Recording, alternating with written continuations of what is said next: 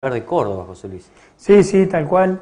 Este, bueno, de eso se trata la, actividad, de la gestión, de tratar de, buscar puertas, golpear puertas y conseguir cosas que necesita la gente y, más en un contexto económico como el que vive el país, donde entiendo que la sociedad está muy sensible, pero está muy falta de, de, cosas y esas cosas es el poder llegar a fin de mes, esas cosas son el poder vivir el día a día y uno tiene una responsabilidad en la cual la he asumido y, me he comprometido justamente a eso, a, seguir adelante todo lo que, conlleve a, la mejor forma de vivir en, lo que me toca a mí, la localidad de La Cautiva. Entonces uno lo que busca permanentemente es ese tipo de acción y que lo va a encontrar en los estamentos superiores, la provincia o la nación. Este, eh, eso también es muy claro y hay que salirlo a buscar. Nadie te va a traer nada a tu casa. Seguramente. Hay una firma de un convenio para la construcción de una plaza inclusiva que, bueno, me contabas que lo se ha firmado en Buenos Aires, pero también venía de Córdoba, donde al margen de la situación partidaria, lo importante es que las puertas siempre estén abiertas, ¿no?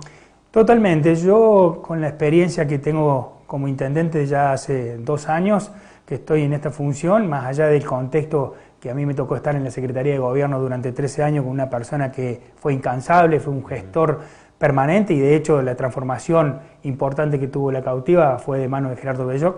Eh, uno encuentra justamente eso, eh, gente que está en el mismo contexto, que te enseña también, que uno debe aprender que cuando te toca gobernar y te toca tomar decisiones es para todos, las necesidades las tienen todos, y, es ahí donde uno hace mucho hincapié, de más allá del color político, la vestidura política, debe ir, debe presentarse y debe estar eh, en representación de un pueblo, nada más y nada menos, en donde ahí hay de todos los pensamientos, pero la función eh, es justamente eso, tratar de ir y golpear esas puertas y llevar lo que se necesite para tu localidad que lo puedan disfrutar todos. En relación al convenio que firmé la semana pasada, la verdad que estoy muy, muy contento porque es justamente la accesibilidad que uno busca eh, para todas aquellas personas con distintas discapacidad y que muchas veces no nos damos cuenta. Los que no sufrimos esas cuestiones no se da cuenta, pero muchas veces a mí me toca eh, compartir el equipo con una persona que es el maestro mayor de obra que tengo en la cautiva y que él tiene una nena con discapacidad y realmente siempre plantea esas cuestiones de la vida que él tiene que llevar adelante para su hija. Entonces se encuentra justamente con respuestas muy importantes que uno necesita y que no se da cuenta. Entonces en ese marco uno ha presentado distintos eh, proyectos y uno de esos es justamente con la CONADIS, en la cual los ha brindado la posibilidad ahora de hacer una plaza inclusiva, que esta plaza va a estar justamente en la Plaza Manuel Belgrano que tenemos en nuestra localidad, en donde se van a hacer este, espacios para eh, juegos, eh, para personas con discapacidad, rampas, va a tener todo un contexto de accesibilidad y eso es eh, muy, muy importante, un convenio por 700 mil pesos que para la localidad de La Cautiva eh, es una suma interesante. También estamos trabajando justamente con la provincia en adultos mayores, también tenemos un espacio para nuestros abuelos y ahí vemos que tenemos una persona con silla de rueda pero el baño que tenemos en, ese espacio no es adaptado para esa persona. Por lo tanto, ella está cuatro horas y no puede ir al baño a no ser que no la lleven UPA.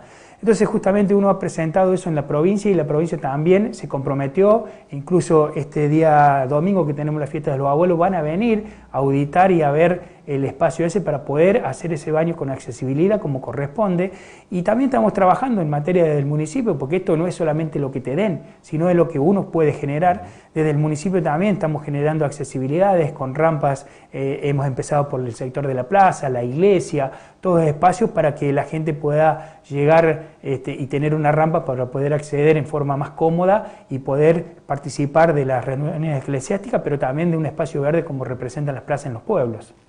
Eh, recién cuando poníamos una nota con este chico de estrellas amarillas del Campillo, él decía que desde el dolor uno comienza a ver otra, otra mirada tiene y quiere trabajar lo demás. En el caso, lo que vos decís, el maestro, el maestro mayor de obra, que de alguna manera tiene un problema de su hija discapacidad, pero lo importante es que vos puedas abrir las puertas para estas ideas, para estos proyectos y llevarla a cabo, ¿no? ¿Qué es la idea? Totalmente. Yo me quedé sorprendido con una respuesta que me acuerdo que un vecino ahí en la cautiva estábamos haciendo una rampa y teníamos que sacar un árbol, porque justo daba justo en, la rampa. Y el vecino me decía, ¿y para qué sacas el árbol? Si iba a poner una rampa, ¿para qué? Y el chico me dice, ¿cómo se nota que no le toca? Porque si le tocara, eh, automáticamente él sacaría el árbol. Son esas cuestiones de enseñanza de vida que uno va viviendo y que cuando en el sentido común o en la lógica muchas veces la gente no lo percibe, no lo ve, pero bueno, uno tiene esa responsabilidad y gracias a Dios lo puede ver y, estamos trabajando en ese contexto.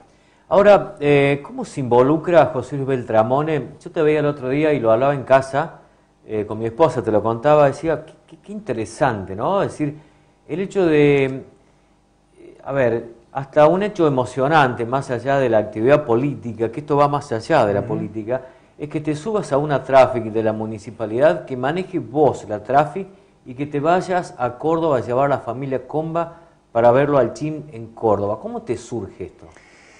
Bien, eh, en primera circunstancia yo quiero aclarar una cuestión. La cautiva es una, localidad pequeña, nos conocemos absolutamente todos, nos sentimos una gran familia. Y bueno, cuando hay este tipo de, cuestiones que, la gente ve que tiene éxito y que logra eh, saltar a, a, una situación muy importante, uno lo celebra muchísimo. De hecho, bueno, eh, lo del chin fue porque el hermano eh, que mayor, eh, Franco, se, llega a la municipalidad y me dice, che, ¿vos sabés que el viernes el Franco, el chin juega en, Córdoba? Este, ¿Habrá alguna posibilidad de poder llevar este, a mi familia o llegarnos allá? Vos sabés que fue instantáneo, uno no lo dudó, yo lo que dije, mira, no solamente vamos a llevar la familia, sino yo que yo quiero acompañarlos a ustedes porque yo conozco eh, cuál es la situación que ellos viven, gente de campo, gente humilde, y sabía que no conocen Córdoba. Entonces lo que yo intenté y lo que bueno salió así fue justamente esto, acompañarlo, llevarlos a los lugares que correspondía, que están en la intimidad con ellos y que se sintieran seguridad de que iban a llegar, que iban a estar y que iban a compartir con el chin ese momento tan especial que está viviendo. Y eso fue lo que uno eh, logró y en esa participación, por supuesto, que después tuvieron todos los medios nacionales, fue una repercusión muy importante, pero eso se lo ha ganado el chin eh, con, con un logro maravilloso y ojalá que este no sea su techo, por el contrario. Pero bueno, ahí se abrieron muchas puertas porque uno pudo contactarse con los dirigentes de Gimnasia de La Plata y justamente al, comentarle y al ver la familia del Chin, vieron eh, la cuestión humilde, tal cual como es el Chin, digamos, eso es muy natural. Entonces también se predispuso eh, de tratar de ver si lo podemos acompañar a un partido cuando juegue de local para que la familia conozca dónde está el Chin, dónde vive el Chin, eh, su espacio, más allá de que tiene salida a, todas las provincias ahora con el contexto futbolístico, pero la idea es eso, ver dónde está y en eso el club se ha puesto a disposición y por supuesto uno que, que, le toca eh, comandar los destinos de la cautiva y, ver esta familia que está pasando este momento especial y, muy importante, quiere acompañarlos porque se lo merecen y ojalá que, que, vuelvo a repetir, no sea su techo. Eh, es decir, que actuaste como mm, responsablemente como intendente de una localidad pequeña, como decías, el de ponerte al hombro todo esto y además solamente eh, no solamente pusiste la tráfico o el municipio puso la tráfico, sino que manejaste vos, pero también actuaste como protector de la familia. ¿no? Sí, totalmente. Es que eh, yo lo viví en el contexto de que cuando uno llegó a la cancha, la cancha era la cancha de Belgrano y había muchísima gente de Belgrano porque no se acepta el público visitante. Y nosotros íbamos a alentar a un jugador visitante. Entonces, también debería, debió existir ese compromiso. ¿Por qué? Porque eh, gente que no conoce, gente que no conocía en Córdoba la familia. Entonces uno estuvo eh, en ese marco, en ese contexto. Y la verdad que fue una experiencia muy linda, muy linda ver a la familia feliz, ver al papá, a la mamá, a los hermanos, eh, incluso a, Nardo Rufinengo que también nos acompañó, que, bueno, fue un mentor de, lo que hoy está viviendo el Chin, y él lo reconoce. Así que fue ese contexto, ese marco, digamos.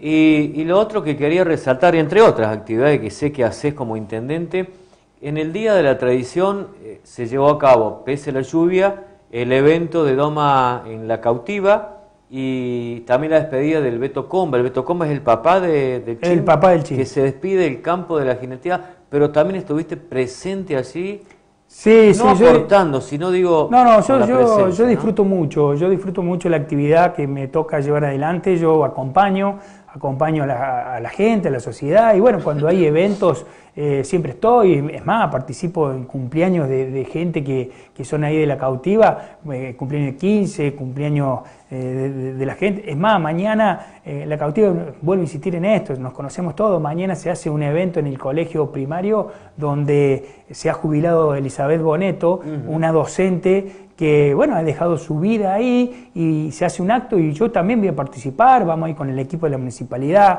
porque entendemos justamente eso, somos una gran familia, intentamos eh, vivir el día a día de la mejor forma, es una responsabilidad que tenemos y creo que en la cuestión social uno debe acompañar a través de estos gestos, porque forma parte también de la seguridad que necesita la gente. Yo entiendo que más allá de la vestidura del intendente en la que me toca, eh, es un título honorífico en el cual uno tiene, pero lo que uno debe ser eh, lo humano hacia la sociedad, hacia las necesidades que tiene la gente. Entonces uno busca eso, por eso acompaño en las distintas veladas, por eso me pongo a disposición de un montón de contextos, eh, desde participar en el armado de las fiestas, una de las cosas muy importantes y muy lindas, que también la, sociedad lo ha aceptado en la cautiva, que es el compromiso que uno tiene, pero a su vez sumar a este compromiso las actividades para poder desarrollar en conjunto, como son los carnavales.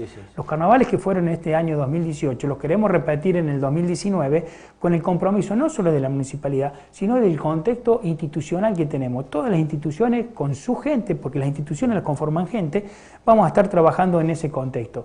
Y ahí es donde tratamos de conformar este, esta sociedad de la cautiva en un contexto generalizado para que todos seamos parte y todos nos sentamos involucrados en lo que somos como comunidad. Y el tema salud también te involucras bastante, digo. Sí, vos sabés que yo tuve eh, una de las visiones que, me gustó mucho este año fue la de la oficina del intendente hacerla móvil. Yo, eh, a partir de, de, tener una visión, digamos, de poder decir, bueno, el intendente va a trabajar 15 días en el centro de salud municipal. Por dos cuestiones. Primero, para ver el contexto laboral que tienen los empleados que comparte uno.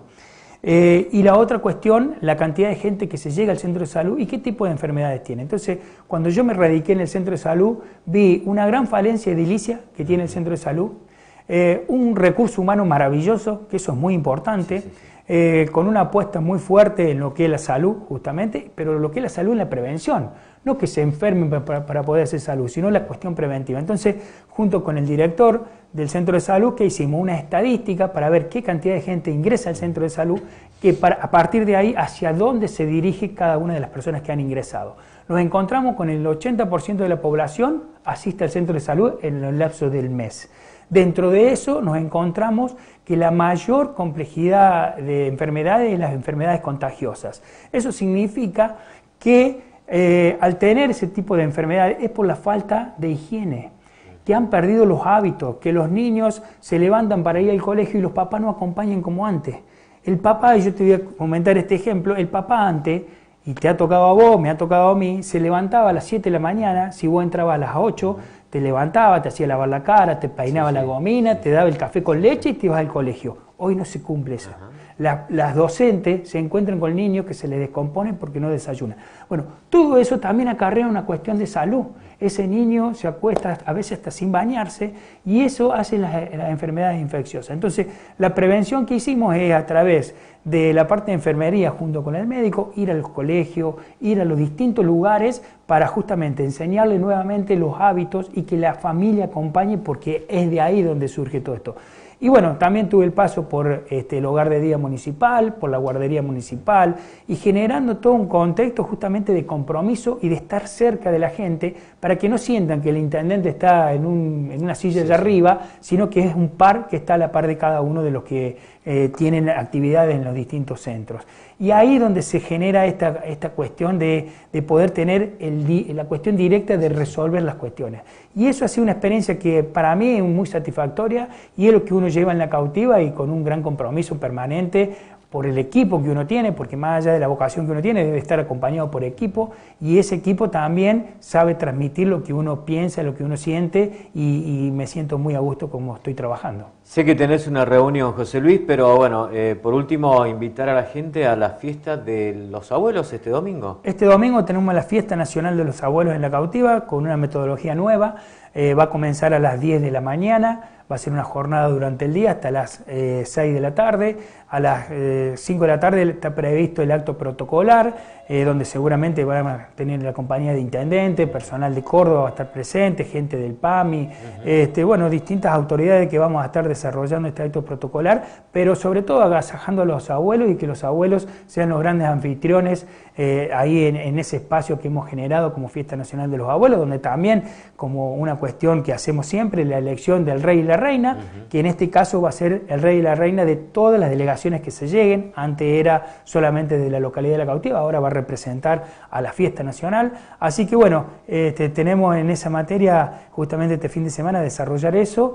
Y por supuesto siempre en La Cautiva estamos trabajando permanentemente para actividades culturales, actividades de desarrollo permanente para que la gente esté contenida, tengan espacios para participar, lo que sea deporte. Hemos hecho cada 15 días hacemos ferias americanas, donde la feria americana invitamos siempre a la gente que se anima a vender, a que busque productos y los pueda vender. El municipio no le cobra ningún tipo de impuesto con tal de promover el comercio local y ese es el sentido de esas ferias americanas. Entonces siempre estamos generando actividades con el equipo que uno tiene de trabajo ahí en la municipalidad. Eh, como siempre, muchas gracias por venir, José Luis. Seguramente, bueno, estaremos antes del fin de año quizás haciendo otra nota. ¿eh? Muchísimas gracias. gracias a ustedes.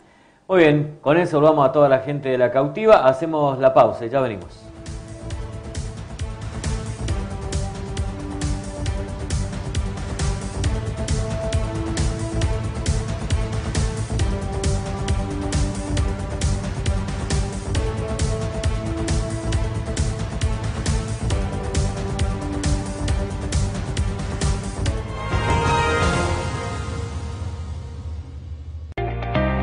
Te acompaña